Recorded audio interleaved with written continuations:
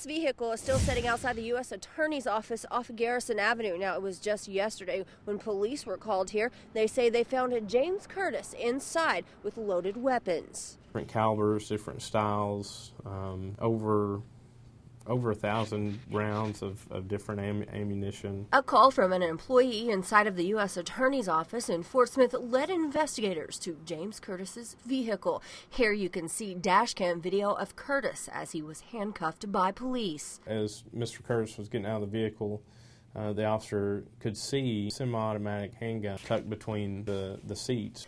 Curtis, who is from Kentucky, was arrested for carrying a weapon. The officer asked if he had a concealed carry permit, to which Mr. Curtis replied that he did not because it had been revoked. Investigators believe his permit was revoked due to a mental condition. I mean, he said he was there to talk to the U.S. attorney because uh, he didn't trust the U.S. attorney in Kentucky. In a police report, it shows Curtis had in the past been charged with endangering a police officer and a misdemeanor charge of menacing, but the charges were dismissed. We caught up with U.S. Attorney Conner Eldridge on the phone, who said he's proud of his employee and investigators.